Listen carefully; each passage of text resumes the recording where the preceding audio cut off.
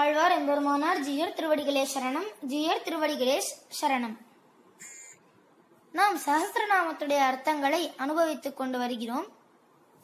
இதை நாம் ஸ்ரீ உவே காஞ்சி பிரதிவாதி பயங்கர மன்னங்கராச்சாரியர் சுவாமியுடைய சஹஸ்ரநாமத்திற்கு எளிய விளக்க உரையை கொண்டு அனுபவிக்கிறோம். மேலும் ஸ்ரீ உவே வி வி ராமானுஜம் சுவாமி அவர் பராசர பட்டர் அருளிய பகவத் குணதர்ப்பணம் என்- என்னும் சம்ஸ்கிருத வியாக்கியானத்திற்கு ஒரு எளிய விளக்க உரை அளித்துள்ளார். அதையும் துணையாக கொண்டு நாம் இந்த அர்த்தங்களை அனுபவிக்கலாம். நாம் ஐம்பத்தி ஐந்தாவது திருநாமம் வரையிலும் அனுபவித்தோம். இப்பொழுது அடுத்த ஐந்து திருநாமங்களை பார்க்கலாம்.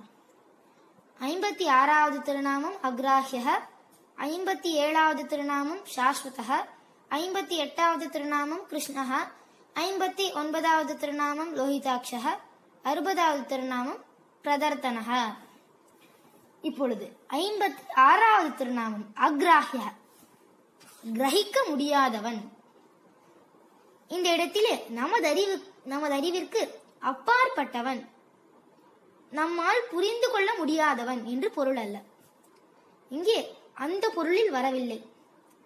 எப்படி பானை அதற்கு மண் உபாதான காரணமும் உபாதான காரணம் என்றால் இப்பொழுது மண்ணிலிருந்து பானை உண்டாகிறது.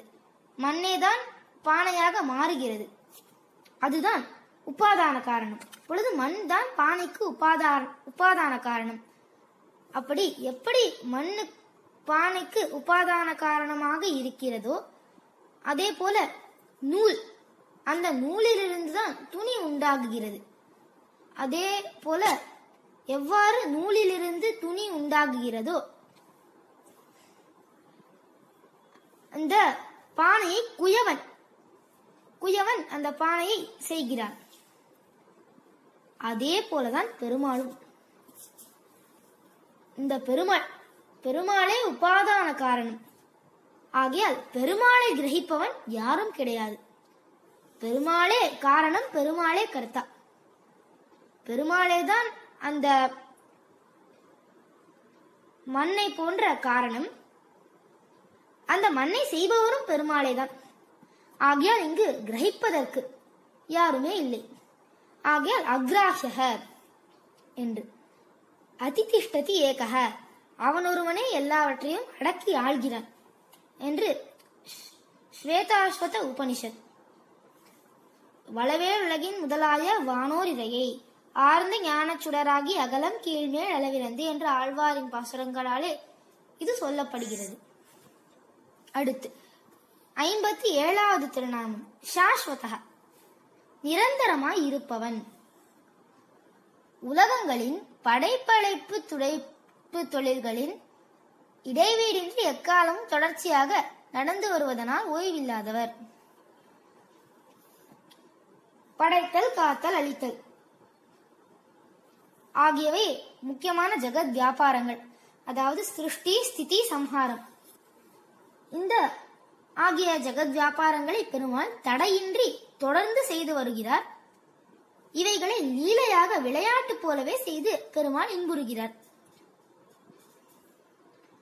அகில புவன ஜன்ம ஸ்தேம பங்காதி லீலே என்று ராமானுஜர் ஸ்ரீ பாஷ்யக்காரர் ஸ்ரீபாஷ்யத்தில் அருள் அருளுகிறார். அப்படி பெருமாள் நிரந்தரமாய் எப்பொழுதும் இருக்கிறார். அடுத்து ஐம்பத்தி எட்டாவது திருநாமம் கிருஷ்ணஹா மகிழ்ச்சியை உடையவன் என்று பொருள். கிருஷ்ணஹா என்றால் மகிழ்ச்சியை உடையவன். ஜகத் சிருஷ்டி லீலாரசத்தினால் எப்போதும் மகிழ்ச்சி கொண்டிருப்பவர். அதுதான். இந்த சிருஷ்டி ஸ்திதி சம்ஹாரம் முதலிய ஜெகத் வியாபாரங்களை செய்- லீலையாக செய்வதனால் பெருமாளுக்கு மிகவும் ஆனந்தம் ஏற்படுகிறது. அப்படி அந்த மகிழ்ச்சியை கொண்டிருப்பவரே பெருமாள்.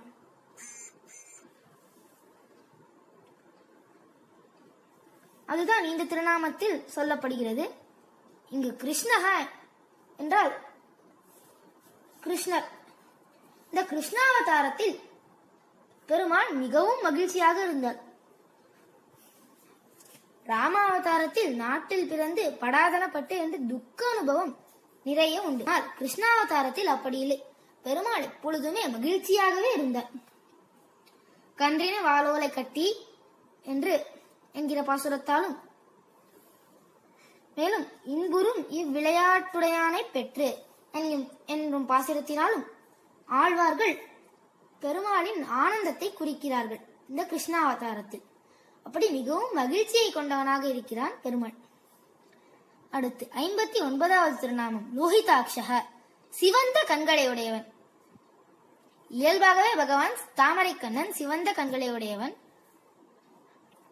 இந்த போன திருநாமத்திலே மகிழ்ச்சியை உடையவன் என்று சொன்னபடியால் இந்த மகிழ்ச்சியினால் பெருமாள் உடைய கண் மிகவும் சிவந்து இருக்கிறது கண்ணும் சிவந்து பெரியவாய் வாயும் சிவந்து கனிந்து என்கிற பாசுரத்தாலே இது சொல்லப்படுகிறது.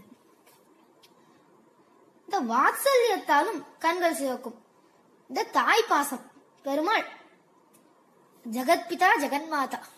இப்படி உலகத்திற்கு தாய் தந்தையாக இருக்கக்கூடிய பெருமாள் அவருடைய வாத்சல்யத்தாலே அவருடைய கண் சிவக்கிறது. அவருடைய அன்பினாலே. இப்படி சிவந்த கண்களை உடையவராக பெருமாள் இருக்கிறார்.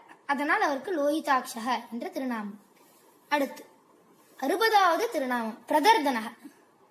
பிரதர்தனக என்றால் சம்ஹரிப்பவன். பிரளய காலத்தில் எல்லாவற்றையும் சம்ஹரிப்பவன் பெருமாள் பிரளய காலத்தில் அதாவது அனைத்தும் அழியப் போவது என்று ஒரு கால- காலம் இருக்கிறது. அப்பொழுதுதான் பிரளயம் ஏற்படும். அப்பொழுது எல்லாவற்றையும் பெருமாள் அழிக்கிறார்.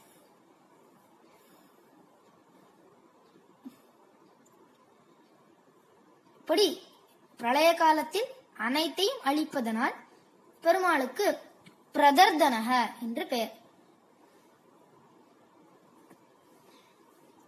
ஆழ்வார் எம்பெருமானார் ஜியர் திருவடிகளே சரணம் ஜியர் திருவடிகளே சரணம். கோயில் கே ஓ ஒய்ஐஎல் என்னும் ஆப்பை கூகுள் பிளே ஸ்டோர்தோ ஆப்பிள் ஆப் ஸ்டோரிலிருந்தோ டவுன்லோட் செய்து இது போன்ற சம்பிரதாய விஷயங்களை கேட்டு மகிழலாம். எங்கள் வலைத்தளம் Koyil dot R K O Y I L dot O R G